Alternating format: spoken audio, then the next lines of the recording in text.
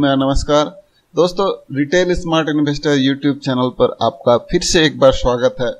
दोस्तों, आज हम लोग बात करने जा रहे हैं मैरिको लिमिटेड जो कि एक पर्सनल प्रोडक्ट बनाने वाली कंपनी है और जैसा कि हम लोग देख रहे हैं, तीन सौ में क्लोजिंग दिया है। इसमें लगभग दो की गिरावट देखने को मिली है। और ये अपना Q1 FY21 का रिज़ल्ट लेकर के हम इन्वेस्टरों के सामने आ चुकी है। और जैसा कि हम लोग देख रहे हैं न्यूज़ में कि मैरिको का जो प्रॉफिट है, तेईस परसेंट जंप होकर के तीन सौ अट्ठासी करोड़ हो गया है। तो आज दोस्तों हम लोग ये जानने की कोशिश करेंगे कि मैरिको का रिज़ल्ट किस प्रकार का हुआ है। हम लोग अपने स्तर पर रिटेल स्मार्ट इन्वेस्टर खुद ही इसको एनालाइज करके ये समझने की कोशिश करेंगे कि इनका रिज़ल्ट किस प्रकार का हुआ है। और इस स्टॉक के प्राइस से बिहेवियर आने वाले दिनों में किस प्रकार के रह सकते हैं, और उसको समझने के लिए हम लोग इसके कंप्लीट रिज़ल्ट एनालिसिस करेंगे, और इसके पास्ट के भी रिज़ल्ट को देखेंगे, इसके प्राइस पैटर्न को देखेंगे, इसके शेयर होल्डिंग पैटर्न को भी चेक करेंगे, और उन सारे चीज़ों को चेक करने के बाद हम लोग निष्कर्ष पर पहुँचेंगे कि हम लोगों को मैरिको इंडस्ट्रीज़ में मैरिको लिमिटेड में क्या करना चाहिए। तो चलिए दोस्तों, सबसे पहले हम लोग इसके रिटर्न को चेक कर लेते हैं कि मैरिको किस प्रकार अपने निवेशकों को पास्ट में रिटर्न दी है? तो हम लोग यहाँ पर देख रहे हैं मैरिको लिमिटेड ये पिछले एक सप्ताह में निगेटिव रिटर्न दी है। पिछले एक महीना में लगभग डेढ़ परसेंट का पॉजिटिव रिटर्न दी है। जनवरी से अभी तक ढाई परसेंट का रिटर्न दी है। पिछले एक साल में तीन परसेंट का निगेटिव रिटर्न दिए तीन साल में ये लगभग साढ़े सात परसेंट का रिटर्न दिए पाँच साल में इनका रिटर्न लगभग सिक्सटी फोर परसेंट है। पिछले दस सालों में ये फोर फिफ्टी सेवन परसेंट यानी कि अपने निवेशकों का पैसा ये फाइव टाइम्स कर चुकी है पिछले दस सालों में। तो हम लोग यहाँ पर देख रहे हैं दोस्तों कि पिछले तीन सालों में इनका रिटर्न कोई खास नहीं रहा है, लेकिन अगर पाँच साल और दस साल की बात करें तो यहाँ पर इनका जो रिटर्न है काफ़ी अच्छा देखने को मिल रहा है। और अगर इसके पी रेशियो को देखें दोस्तों तो इंडस्ट्री पी 64 है, जबकि इसका पी 44 है तो ये कंपनी जो है अभी सस्ती लग रही है। पी रेशियो के हिसाब से। लेकिन दोस्तों, अब हम लोग इसके रिटर्न को देखे, ये ठीक ठाक लग रही है। अब हम लोग इसके फिनेंशियल ओवरव्यू को चेक कर लेंगे, कर लेते हैं कि इनके फिनेंशियल ओवरव्यू किस प्रकार के हैं।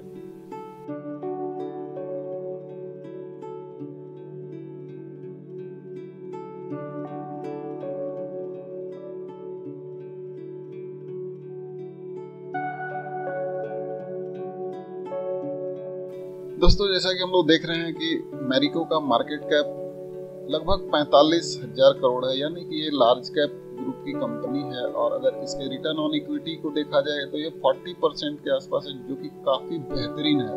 और रिटर्न ऑन कैपिटल एम्प्लॉयड को देखा जाए, ये 41 परसेंट है, जो कि और भी बेहतरीन है दोस्तों। अगर इंटरेस्ट कवरेज रेशियो की बात की जाए तो ये लगभग 31 टाइम्स है, जो कि काफ़ी बेहतरीन है। और अगर इनके डेप्ट इक्विटी रेशियो को देखा जाए तो ये पॉइंट वन वन है तो जो कि काफ़ी अच्छा है। और अगर इनके करंट प्राइस की बात करें तो ये तीन सौ पचास रुपये पर ट्रेड कर रहा है, जबकि इसका फिफ्टी टू वीक हाई चार सौ चार रुपये के आसपास है। तो ये अपने फिफ्टी टू वीक हाई के काफ़ी करीब दिख रहा है। तो इस प्रकार से हम लोगों ने दोस्तों यहाँ पर पाया कि इनके फिनेंशियल ओवरव्यू काफ़ी अच्छे हैं return on equity return on capital काफ़ी बेहतरीन है। तो इस प्रकार से हम लोग ये समझ सकते हैं कि ये कंपनी फंडामेंटली अच्छी लग रही है, काफ़ी अच्छी लग रही है। अब चलिए दोस्तों, हम लोग शेयर होल्डिंग पैटर्न को चेक करते हैं कि बड़े निवेशकों का इसमें किस प्रकार का रुझान है और पिछले कुछ महीनों में उन्होंने इस स्टॉक में अपना स्टैंड किस प्रकार का रखा है। वहाँ से भी हम लोग इसके फंडामेंटल्स को समझ पाएँगे कि ये कंपनी किस प्रकार की है।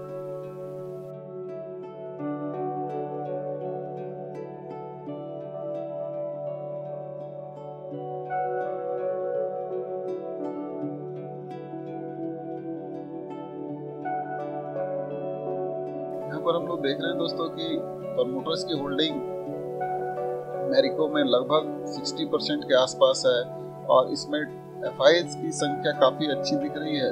ये लगभग 24 परसेंट के आसपास है। और अगर हम लोग डी के होल्डिंग इसमें देखें तो हम लोग देख रहे हैं कि जून 18 में ये तीन तीन दशमलव चार परसेंट हुआ करती थी। ये बढ़ करके दिसंबर 2018 में बढ़ करके 4.5 परसेंट रह गया। और इस तरह से इन्होंने सितंबर 2019 से इसमें स्टैक अपना घटाना शुरू किया और जून 2020 में इनका स्टैक घट करके वापस पुराने स्तर, जून 2018 के स्तर, यानी 3.4 परसेंट के आसपास रह गया। अगर एफ़ की होल्डिंग को अगर हम लोग चेक करें तो जून 2018 में 25.6 परसेंट हुआ करती थी, जो कि लगभग इन्हीं स्तरों पर मेंटेन रहा। उसके बाद जो है मार्च 2020 में घट करके इनका स्टैक 22.7 परसेंट हो गया। जून क्वार्टर से इनका स्टैक फिर मेरिको में बढ़ता हुआ दिख रहा है तो हम लोग यहाँ पर देख रहे हैं कि एफ़ इसमें काफ़ी बुलिस दिख रहे हैं और जो डी हैं, उनका जो स्टैंड इसमें लगभग न्यूट्रल सा है। तो कुल मिला के दोस्तों, अगर हम लोग बात करें कि एफ़ और डी मिल करके इसमें लगभग 29 परसेंट के आसपास इसमें स्टैक लिए हुए हैं, जो कि काफ़ी बड़ा अमाउंट है, काफ़ी बड़ा स्टैक होता है। तो हम लोग ये कह सकते हैं कि कहीं ना कहीं इस स्टॉक के फंडामेंटल जैसे हम लोगों ने ओवरव्यू में पाया था कि अच्छे लग रहे थे तो शेयर होल्डिंग पैटर्न से भी यही इंडिकेशन मिल रहा है कि इनके बड़े निवेशक चूँकि काफ़ी अच्छी मात्रा में इसमें निवेशित हैं तो इसके फंडामेंटल्स काफ़ी अच्छे हैं। तो अभी तक हम लोगों ने पाया कि मैरिको इंडस्ट्रीज़ के फंडामेंटल्स काफ़ी अच्छे हैं। ओवरव्यू और शेयर होल्डिंग पैटर्न के आधार पर। लेकिन दोस्तों, किसी भी निर्णय में पहुँचने से पहले हम लोग खुद भी इनके फंडामेंटल्स को चेक कर लेते हैं कि इनके रिज़ल्ट क्वार्टर वन के किस प्रकार के रहे हैं और पास्ट के रिज़ल्ट किस प्रकार कह रहे हैं। उसके बाद ही हम लोग अपना राय बनाएँगे कि ये कंपनी फंडामेंटल सही है या नहीं है। उसके बाद ही हम लोग इसके प्राइस बिहेवियर पर चर्चा करेंगे। तो चलिए दोस्तों, हम लोग क्यू का रिज़ल्ट को हम समझने की कोशिश करते हैं।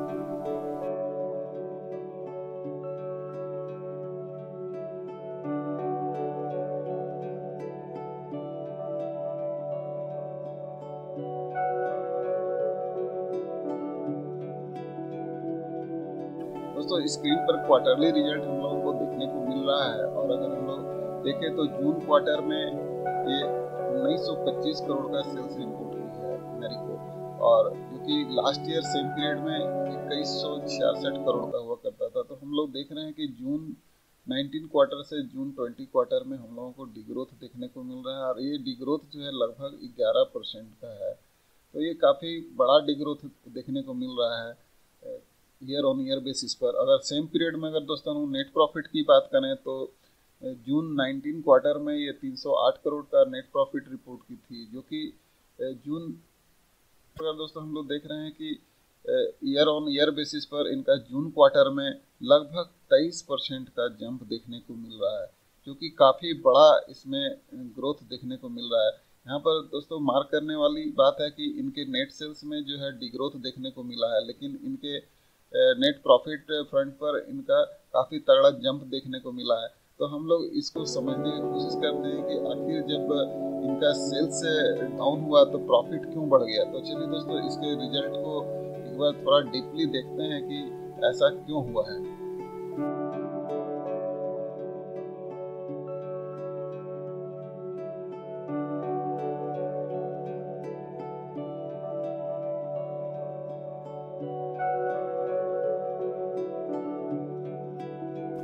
दोस्तों, अगर हम लोग इसके रेवेन्यू को देखें, जैसा कि हम लोगों ने देखा था कि डाउन हुआ है तो यहाँ पर देख रहे हैं कि इनका जो टोटल इनकम इक्कीस सौ चौरानवे करोड़ था, जो कि डाउन होकर के उन्नीस सौ चौवालीस करोड़ हो गया है। और अगर हम लोग ध्यान से इनके रिज़ल्ट को चेक करें दोस्तों तो हम लोग यहाँ पर देख रहे हैं कि ये लास्ट ईयर जून क्वार्टर में एडवर्टाइजमेंट में लगभग जो है सेल्स प्रमोशन में दो सौ उन्नीस करोड़ का एक्सपेंडिचर की थी कंपनी जो कि इस साल ये एक्सपेंडिचर घटा करके मात्र एक सौ सैंतीस करोड़ का कर दी है। तो इन्होंने अपने एक्सपेंडिचर में काफ़ी कंट्रोल किया है और एडवर्टाइजमेंट में कॉस्ट कटलमेंट करके अपने प्रॉफिट को बढ़ाया है। तो दोस्तों, यही वजह है, जैसा कि अभी हम लोगों ने देखा था कि इनके रिज़ल्ट जो हैं, वो रिवेन्यू जो है, कम हुए हैं, लेकिन इनके प्रॉफिट में बढ़ोतरी देखने को मिली है। तो कारण इसका यही है कि इन्होंने अपने एडवर्टाइजमेंट सेल्स प्रमोशन में काफ़ी बड़ी कटौती की है। तो ये कंपनी का काफ़ी अच्छा स्टैंड है कोविड सिनारियों में ये कंपनी अपने खर्च में कटौती करके इस स्थिति से अपने को उभारने की कोशिश की है और काफ़ी अच्छा प्रॉफिट लेकर के आई है। अगर दोस्तों हम लोग क्वार्टर ऑन क्वार्टर बेसिस पर अगर रिज़ल्ट चेक करने की कोशिश करें तो हम लोग यहाँ पर देख रहे हैं कि मार्च क्वार्टर में इन्होंने चौदह करोड़ का सेल्स रिपोर्ट किया था, जबकि जून क्वार्टर में ये बढ़ करके 1925 करोड़ का हो गया। तो इनके क्वार्टर ऑन क्वार्टर बेसिस पर जो है सेल्स में लगभग 28 परसेंट का ग्रोथ देखने को मिल रहा है, जो कि काफ़ी अच्छा ग्रोथ कहलाएगा। और अगर दोस्तों हम लोग इनके प्रॉफिट पर फ्रंट पर चेक करें तो मार्च क्वार्टर में इन्होंने एक सौ चौरानवे करोड़ का नेट प्रॉफिट रिपोर्ट किया था। जो कि जून क्वार्टर में ये बढ़ करके तीन सौ इक्यासी करोड़ हो गया। तो नेट प्रॉफिट फ्रंट पर क्वार्टर ऑन क्वार्टर बेसिस पर लगभग 96 परसेंट का बहुत तगड़ा उछाल देखने को मिल रहा है। तो हम लोग दोस्तों इस प्रकार कह सकते हैं कि जो मैरिको है, वो ईयर ऑन ईयर बेसिस पर भी जो है प्रॉफिट कमाने में सक्षम रही है। और क्वार्टर ऑन क्वार्टर बेसिस पर भी इन्होंने काफ़ी अच्छा सेट ऑफ़ नंबर्स प्रस्तुत किया है हम इन्वेस्टरों के सामने। तो इनका रिज़ल्ट जो है काफ़ी अच्छा रहा है। अब दोस्तों, अब इसके पास्ट के रिज़ल्ट को भी हम लोग देख लेते हैं कि मैरिको पास्ट में किस प्रकार का रिज़ल्ट की है। उसके आधार पर हम लोग इसके फंडामेंटल्स को ये कह पाएँगे कि ये फंडामेंटली स्ट्रांग है या वीक है। तो चलिए दोस्तों, अब हम लोग इसके पास्ट के रिज़ल्ट को भी चेक करते हैं।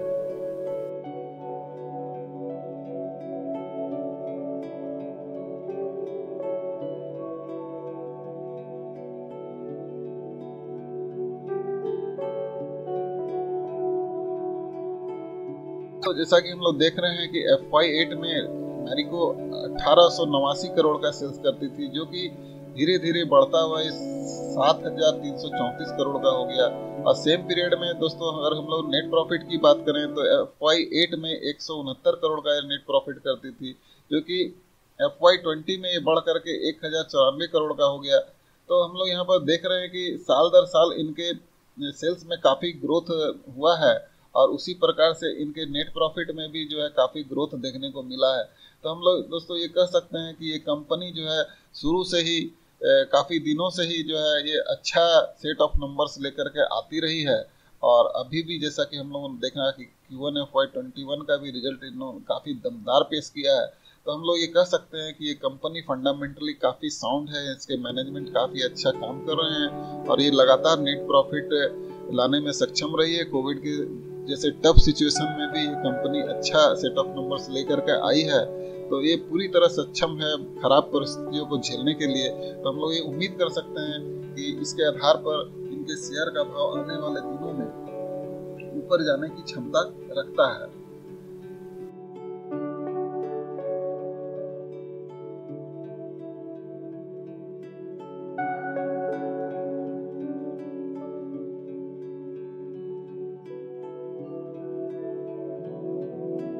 दोस्तों, अब हम लोग टेक्निकली इसको समझने की कोशिश करेंगे कि मैरिको का शेयर भाव आने वाले दिनों में किस प्रकार का रह सकता है। तो हम लोग यहाँ पर देख रहे हैं दोस्तों कि मैरिको तीन सौ पचास रुपये पर ट्रेड कर रहा है और ये काफ़ी स्ट्रॉन्ग रेसिस्टेंस जो है पाँच तीन सौ रुपये उससे जस्ट ऊपर निकला है और इसके रिज़ल्ट काफ़ी अच्छे रहे हैं। तो दोस्तों, हम लोग ये उम्मीद कर सकते हैं, भरोसे के साथ कह सकते हैं इनके रिज़ल्ट के अनुसार कि आने वाले दिनों में ये शेयर जो है लगभग 400 के स्तर को जल्द ही छूता हुआ दिखेगा, ऐसा हम लोग उम्मीद कर सकते हैं। क्योंकि अभी मार्केट काफ़ी ओवरबाउट सिचुएशन में पहुँच चुका है और इसमें प्रॉफिट बुकिंग चालू है। तो फ़िलहाल अगर तुरंत तो कोई तेज़ी देखने को शायद मिले, लेकिन आने वाले दिनों में अगर हम लोग पेशेंसली वेट करें तो ये शेयर जल्द ही 400 के स्तर को पार करता हुआ दिखेगा, ऐसा हम लोग इसके रिज़ल्ट के आधार पर ये निर्णय ले सकते हैं। तो दोस्तों, अभी तक अगर आपने मेरे चैनल को सब्सक्राइब नहीं किया है तो आप तुरंत इसे सब्सक्राइब कर लें। आपके लिए मैं छोटी छोटी जानकारियाँ लेकर के आता रहता हूँ। और उम्मीद है कि आप मेरे नेक्स्ट वीडियो का इंतज़ार करेंगे। तब तक के लिए दोस्तों, धन्यवाद।